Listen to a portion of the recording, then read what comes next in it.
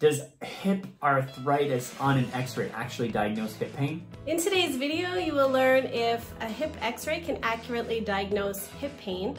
And as well, we're going to be going over hip x-ray images and how that is written out and described on an x-ray report so you can understand it better. Hi, I'm Dr. Josh. Hi, I'm Dr. Kristina, and we're chiropractors in Newmarket, Ontario, Canada. Now don't forget to subscribe and click the bell icon if you want to be notified every time we post.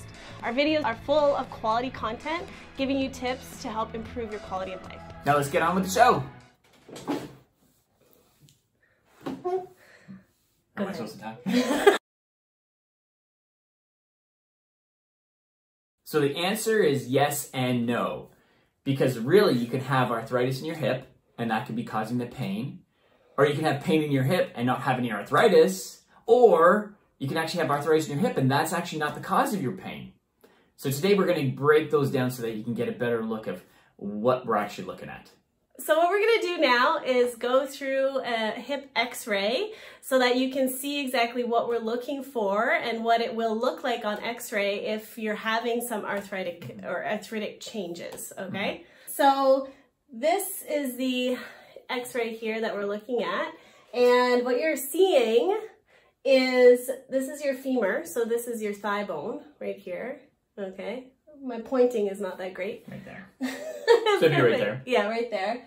And this is the the ball joint, basically, and we mm -hmm. call it the head of the femur. Mm -hmm. Okay? So it sits right in the hip joint here, which is actually called the acetabulum. Mm -hmm. Which and is a big fancy word. And if this is the head, then that makes that the neck. The neck. exactly. what?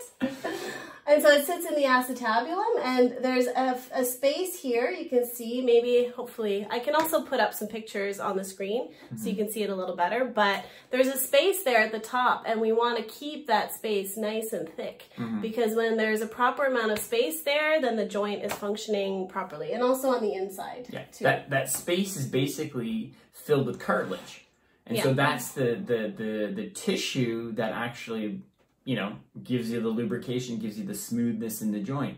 But you can't pick it up. It's not calcified, so you don't pick it up on x-ray. So you don't see it. You just see the spaces. You just see the spaces. And that's why we want a space, because if you have a good space, it means the cartilage is really healthy and thick. That's it, exactly. When you're looking at an x-ray, not only do you want to look at the joint spaces, so for this, in this case, the, the cartilage in the joint, mm -hmm. but you also want to look at the bone too as well. Mm -hmm. And as you can see from this x-ray, this is a normal x-ray. Yeah. The bone is all the same color for the most part along the whole thing. You can see some of the, we call it the trabeculae, which is the, the way the bone is actually laid down in the hip itself. But for the most part, everything's about the same color. And that's that's good. That's normal. Uh, the density is, is solid and mm -hmm. it's a healthy hip. Yeah. Now this is an unhealthy hip. This is one that has arthritis. Mm-hmm. And so if you look at it, you can tell obviously the quality x-ray is a little bit different. So things are going to be a little bit different as far as color. Yeah. But you can see that the, the, the bone itself is not all the same. You have more white in certain areas, specifically a lot of white at the top part, the rounded area, mm-hmm, and mm-hmm. on the acetabulum or in the hip socket itself. And what that white is, is that's just chronic inflammation in the bone, and so there's more bone laydown. It's a sign that things just aren't working working well. But not only that, but it hasn't been working well for a very, very long time for the body to do that. Bone doesn't form really quickly. It's slow. It's slow, yeah. So if you have bone change, you know it's happened over a long period of time. It's been there for quite a while. It's been there for a while. Yeah. So then obviously with the joint itself, I mean, you can barely see it now, mm -hmm. right? So this is actually pretty advanced. Um, if you're having a little milder case of arthritis, like it's just beginning, mm -hmm. you just start to see a slight shortening of the, the hip joint space at the top there. Um, and then the worse, the more advanced it gets, then the space becomes smaller and smaller to the point where the cartilage is gone mm -hmm. and it's just rubbing bone on bone. Mm -hmm. Which is very painful. yes. And so in the milder cases, you might not have any pain at all, mm -hmm. right? And like we mentioned, and then as it gets worse and worse, then you might start to feel uh, more, more, more pain over time. And then of course, uh, hip replacement is, you know, the right. end goal, basically, right? So when you're looking at the cartilage in hip too as well, um, because the hip joint takes a lot of weight, the way that it usually breaks down, it breaks down actually using kind of two steps. Mm-hmm. First, it starts breaking down up and in, kind mm-hmm. of along the line of the the neck of the of the mm-hmm. of the femur. Femur, yep. Um, but then as that starts breaking down, as the cart lose the cartilage there, which this person has, they have no cartilage there, mm-hmm. then it starts rising up and then you'll start seeing damage at the top part. So you can actually even grade how bad it is based on which level it is. If you have a lot of cartilage at the top and none there, mm-hmm. then it's it's hasn't got to the point where full replacement. No, that's it. And full replacement, yeah, I mean it's basically no no cartilage, no and it's all no and it's ability. usually right into the socket, like Josh said, but it's also rising up, and you'll have bone uh, spurs that come down over top because there's just because of the loss of the hip joint space, the body is reacting to that and it's reacting to the, the inflammation. So the bone starts to creep down and you'll see a lot more bone spurs. So if you have had an x-ray of your hip, you've probably seen the report and there's certain words that they often use. Obviously they use words like osteoarthritis uh, for the general terminology. They may You may see words like uh, subchondral uh, sclerosis, right? Or even some subchondral or cysts that are available. What those things, what that means is basically mm-hmm. the sclerosis is the whitening. It's the increased bone formation around the joint because of the chronic inflammation. So it means that it's it's been there for a while. For the cysts, what the cysts are basically is they're basically pockets of fluid that can actually develop inside the bone.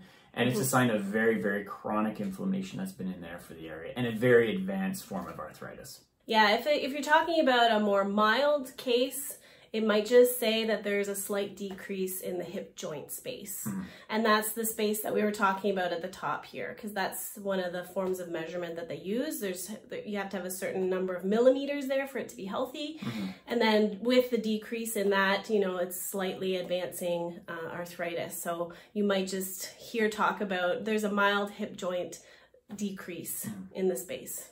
So one of the most common symptoms that patients have when they have hip arthritis is that actually pain into the groin, so the pain can actually radiate to the groin. Mm-hmm. If they get pain in the hip itself, oftentimes if a patient comes in and they point directly to the hip, that can be a problem with the hip, but most of the time it actually is the lower back. Because mm-hmm. the lower back can refer, and the SI joint can refer pain to the hip itself. Now the lower back can also refer pain to the groin along with that as well. So mm-hmm, mm-hmm. Um, if you have those types of pain, doesn't necessarily mean that you have hip arthritis. Now, if they take an x-ray and they find arthritis, they might say that's causing your pain, but unless you're taking it, seeing a, a chiropractor who actually will look at the lower back and at the SI joints, um, you may be misdiagnosed for actually what the real problem is. Mm-hmm, mm-hmm. Because if you have any biomechanical changes, too, right? Because I think we mentioned this as well in the low back, in the hip or the SI joint rather um, that can create more pressure in that hip mm-hmm. and be a source of the arthritic mm-hmm. changes. Mm-hmm. So it's very prudent to get a full picture and get checked out. Make sure your spine is checked mm-hmm. out properly by, by a chiropractor so that all the angles are being taken care of. Mm-hmm. So real life stories that we actually have seen in the past. Um, I, we've had patients come in to see us in the office who had hip pain. Yeah. they came with x-rays from the doctor that showed arthritis in the hip. And we started taking care of them, obviously, to take care of the biomechanical issues associated with it. Mm-hmm. And as we took care of the spine, the hip pain went away, and they didn't actually have to have their hip surgery, which that's was fantastic. Awesome. Yeah, that's awesome. what they wanted to do. but we've also seen the opposite. I've had mm-hmm. patients who've come in my office for lower back pain and hip pain. We've taken care of them, and in the end, I've actually referred them out to actually uh, get their hip taken care of because even though the spine, the SI, and everything was great, and they were feeling so good, we needed to actually take care of the hip because the, the hip got it worse and it needed to, it was too advanced and it needed to be replaced. So um, sometimes the hip is the cause of the problem, sometimes it's sometimes not. not. so the bottom line is, is you need to get checked regardless. Exactly. and adjusted by a chiropractor. And adjusted, yes. So for my story, I had a patient come in and she had already had one hip replaced and she was mm-hmm. waiting for the second hip. She was having a lot of pain, a lot of discomfort. I mean, it was basically bone on bone. And so we started treating her. She was kind of reluctant at first because she's like, well, is this really going to help? Should it, should I even bother? Maybe I should wait until after, you know, the, the surgery. And I was like, no, this is a great time. This is where we, you know, get everything aligned. We mm-hmm. prep your body. We, you know, get everything working as best we can so that afterwards your recovery will be a lot easier on you. And it's true, it really went so much faster for her afterwards. She was on her feet well sooner mm-hmm. than a lot of people normally are.